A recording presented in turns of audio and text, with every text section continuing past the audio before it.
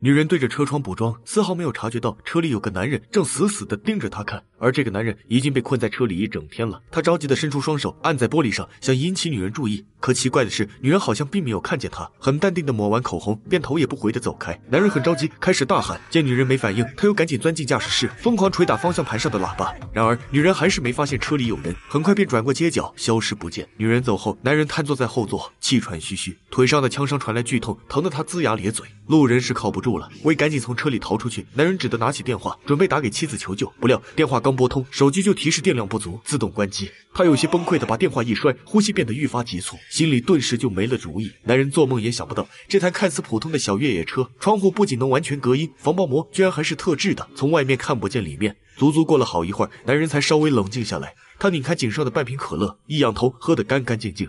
此时已顾不上节约，因为车窗封得很严实，要是再出不去，没等到渴死，就会先被闷死。然而一直到晚上，男人也没想出别的办法，腿上的枪伤正在发炎，疼得他死去活来。好不容易熬到清晨，男人迷迷糊糊地睁开眼睛，他惊喜地发现，在封闭的车厢里，自己居然没被闷死。但很快，男人又开始愁眉苦脸，因为昨天喝光了可乐，车里已经找不到任何一滴水。他渴得两眼发直，嗓子冒烟，只好去舔车窗上附着的水雾。可薄薄的水汽又怎能解渴？男人只好学电影里的方法，往塑料盒里尿尿，然后把盒子凑到嘴边，试着喝了一口。强烈的气味熏得他不停干呕，但恶心也没办法。为了活下去，他只能紧紧捏住鼻子，再次举起黄汤，大口大口的往嘴里灌。喝完黄汤，男人像霜打的茄子一样，整个人都蔫了下来。他强忍住呕吐的冲动，拿出储物箱里的汽车说明书，一页页仔细翻看，试图从里面找到逃生的机会。然而，男人看了半天，却一个字也看不进去。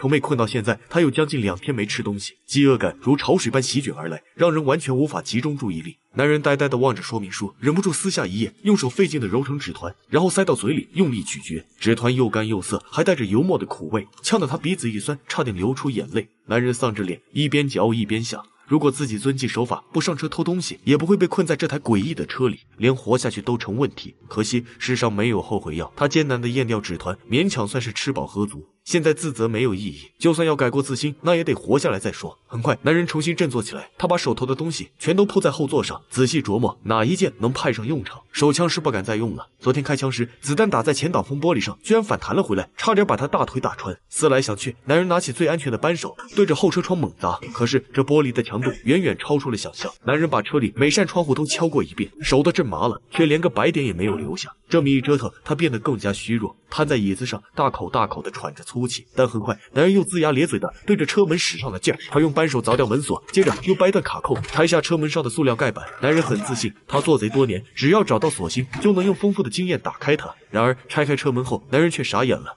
车门里不仅没有锁芯，就连覆盖铁皮的地方也变成了厚厚的钢板。他试着把手伸进去摸索，结果却被锋利的断口划伤，鲜血直流。男人很生气，抓起扳手对着钢板猛凿，可这钢板明显加固过，扳手凿上去除了火花，连一点痕迹也没有。他不信邪，又急忙翻开后排座椅，想在车里寻找突破口。然而，等他撕开地毯，却绝望地发现这里同样被厚厚的钢板覆盖，根本没有凿开的可能。男人来不及震惊，因为一番折腾下来，腿上刚结疤的伤口被崩开。他赶紧脱掉衣服包扎，避免自己流血过多死掉。不过幸运的是，男人再也不用担心会冷了。中午，天气由阴转晴，炽热的阳光照进车里，温度从十几度一下窜到三十几度，车子顿时变成了蒸笼，把男人闷得头晕目眩，脸色惨白。闷热的环境让他更想不出逃离的办法。在高高温密闭的车厢里，就算是最强壮的成年人也坚持不了多久。男人不想坐以待毙，他拖着伤腿爬到后座，再次拆开车门，接着又拿起扳手，绝望地凿着门上的钢板。男人清楚，这么凿，凿几天也不可能凿得开。但一想到自己还有老婆孩子，他便无论如何也不想放弃。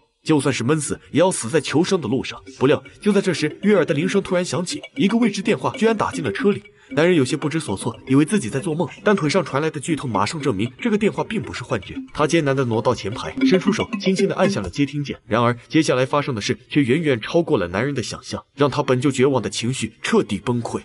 Hola. Hola. Muy bien. Soy el dueño de la camioneta.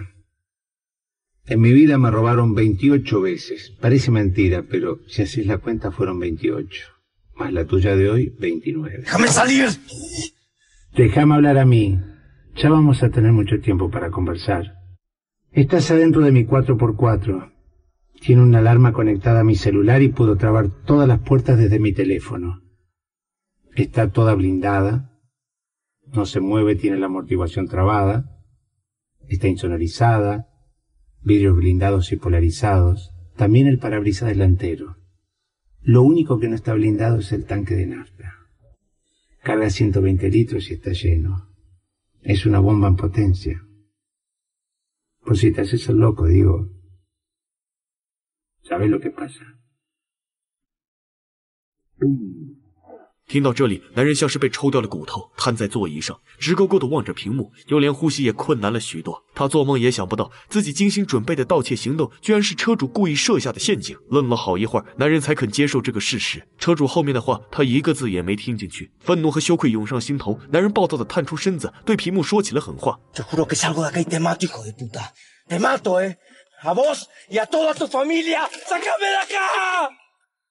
可无论他有多凶狠，都无济于事，只能像案板上的肉一样，任由车主宰割。然而，出乎男人预料的是，车主并没有立刻报复他，反而还用手机远程控制，帮忙打开了空调。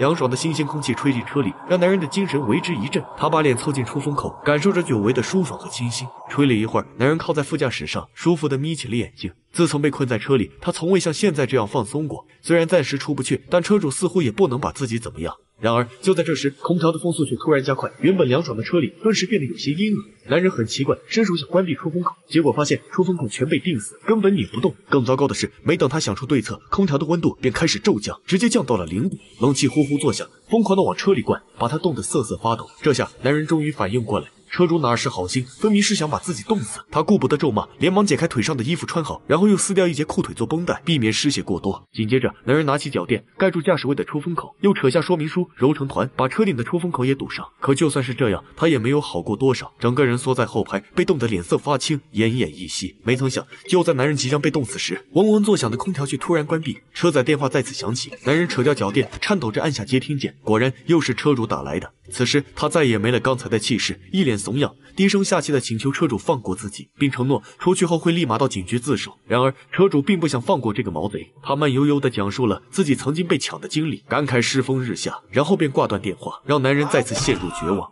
一个小时后，男人冰冷的脸恢复了一点血色，他拉扯安全带，活动手臂，默默等待车主的电话。突然，男人发现了什么。透过前挡风玻璃，他惊讶地看到有辆警车居然停在了前面。中年警察站在路边，围着越野车绕了一圈。男人乐坏了，在里面疯狂敲打玻璃，希望警察能注意到自己。然而警察看了半天也没发现任何异常。他掏出违停罚单贴在挡风玻璃上，便头也不回地离开。就在警察走后不久，两个偷车贼竟然找了过来，拿着工具就要撬锁。男人傻眼了，想不到这时候还能遇见同行，他赶紧挪到驾驶座上，一脸期待地望着窗外，生怕影响到偷车贼发挥。然而两个小毛贼学艺不精，运气也很不好。非但没把锁撬开，反而还被热心路人当场逮住，按在街上暴打。男人默默地看着这一幕，感觉脸上火辣辣的，说不出是什么滋味。他不免想到，自己的孩子将来要是走上这条路，或许也会被人抓住，像过街老鼠一样遭到嫌弃和殴打。他那些引以为傲的偷窃技巧，在社会公序良俗面前显得是如此卑劣和可笑。想到这儿，男人心里五味杂陈，痛苦地闭上了眼睛。他只能把头埋到胸前，不敢再看。傍晚，天色再次变得阴沉，淅淅沥沥的下起了小雨，而车里的男人也彻底陷入了绝望。他口渴的要死，想尿却尿不出来，只好望着窗外的雨滴，像搁浅的鱼一样有气无力的开合着嘴巴。这一刻，男人无比想念车主的声音。只要车主再打过来，他一定会想方设法的祈求原谅。然而，直到深夜，男人也没等来车主的电话，他已经饿得没力气再想办法，只能用右手一下接一下的戳动点火键。想以此来告诉自己，千万不能放弃。不料，随着男人手上的动作，下一秒，神奇的事情却发生了。仪表盘灯突然亮起，引擎的轰鸣声像天籁一样传进了他的耳朵。男人愣了半天，才反应过来，车子居然启动了。他来不及高兴，也懒得去想这是否又是车主的诡计。生的希望近在眼前，男人挂上倒档，一脚油门，瞄准后面的电线杆，重重的撞了上去。猛烈的撞击差点让男人晕过去，但时间不等人，他强打精神，一脚踹开松动的后车窗，挣扎着从车里爬了出来。外面的世界如此美好，男人仿佛又有了用不完的力气。不过这一次，他没有立刻逃走，而是看了看四周，然后跌跌撞撞的朝警局的方向走去。